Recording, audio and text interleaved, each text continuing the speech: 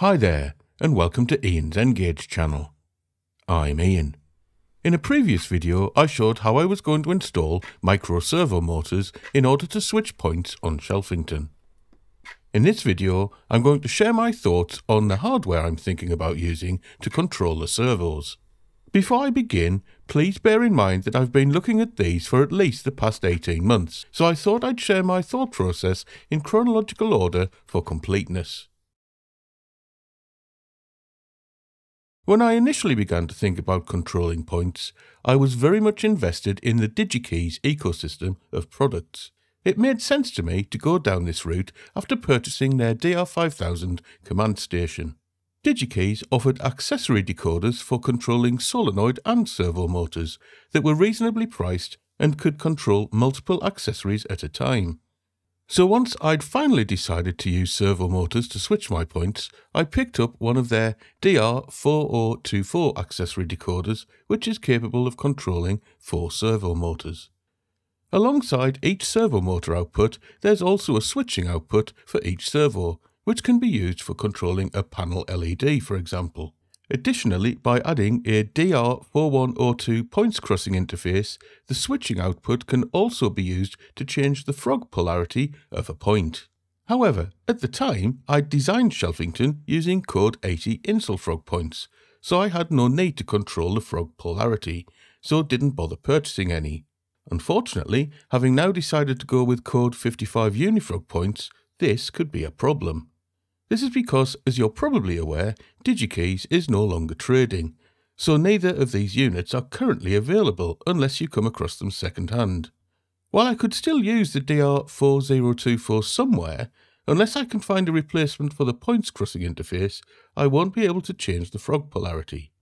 This means that I would probably only consider using it for controlling points in a situation where only larger locos with more pickups would be circulating, such as one of the main loops, where a dead frog would be less of an issue.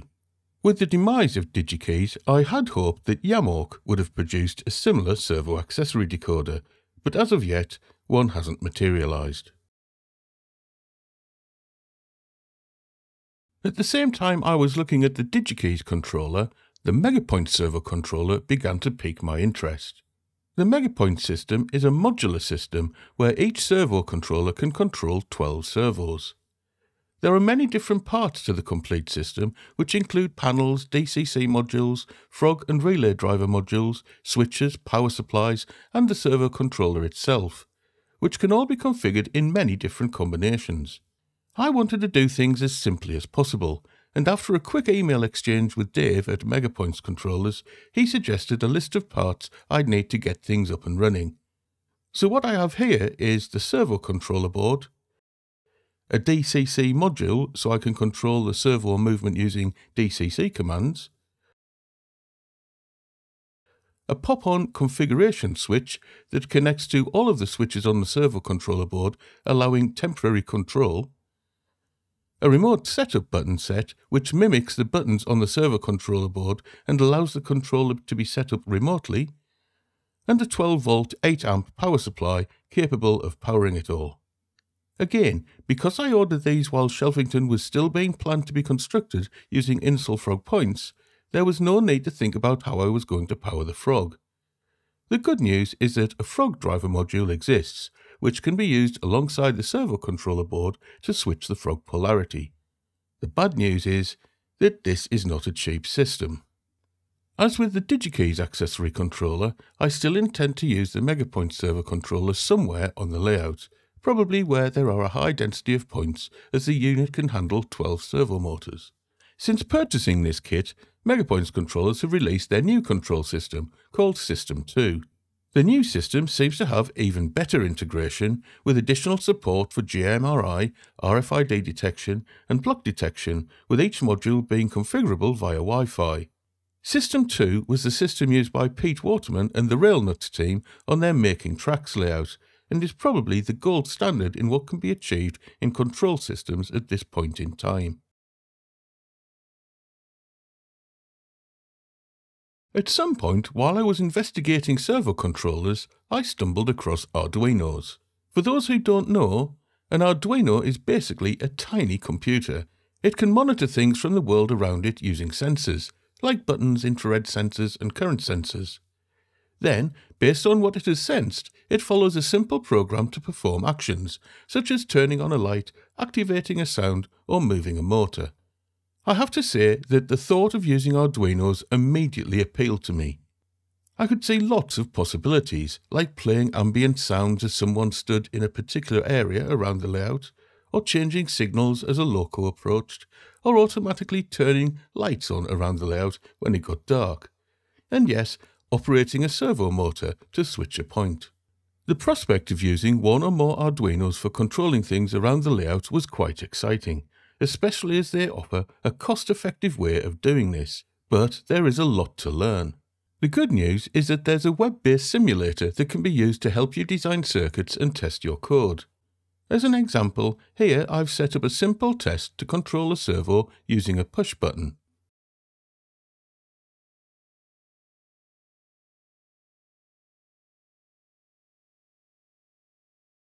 You can easily edit the code and immediately see how it changes the operation of the hardware.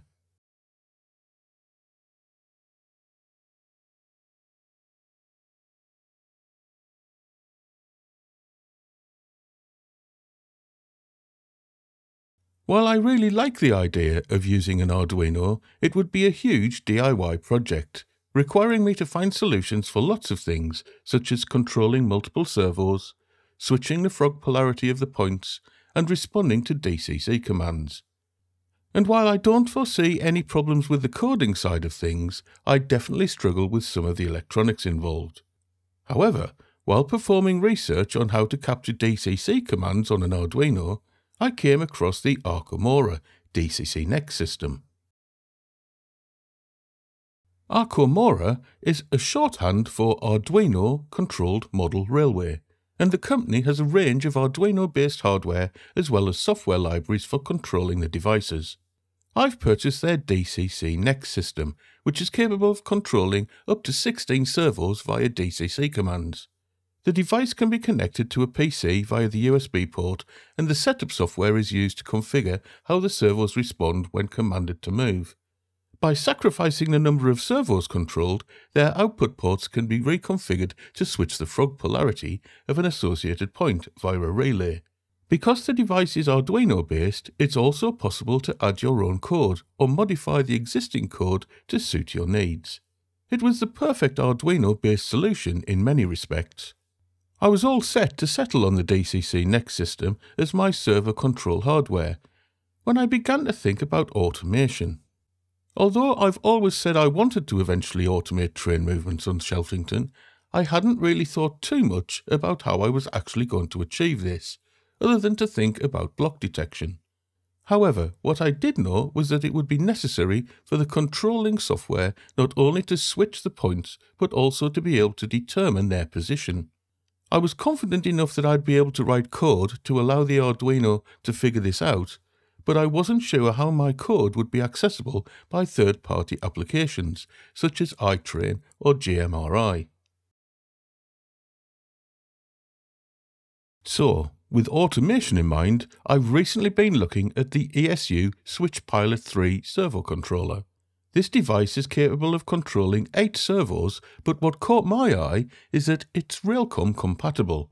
This means that it can be interrogated to find out the position of each servo, which will be key for implementing train automation in the future. For frog polarity switching, an ESU switch pilot extension box is required. Each extension box can switch four frogs at a time, so two boxes are required if the points controlled by all eight servos require polarity switching. This makes the system fairly expensive, but you do get a lot of functionality for your money. I'm now pretty confident that this is the system I'll be using to switch points on Shelfington, where automation will be implemented, which at the moment is everywhere except the marshalling yard and the goods yard sidings. Okay, so that's about it for this update. As you can see, I've pretty much gone down the rabbit hole of how to control servo motors.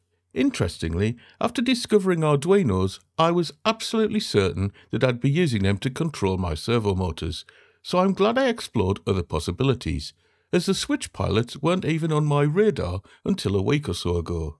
I'll certainly be using the other devices elsewhere on the layout though, and still have big plans for using the Arduinos. Anyway, I hope my ramblings haven't bored you too much and may even have been helpful to some. If you use servo motors, please let me know how you control them and whether you're happy with your solution.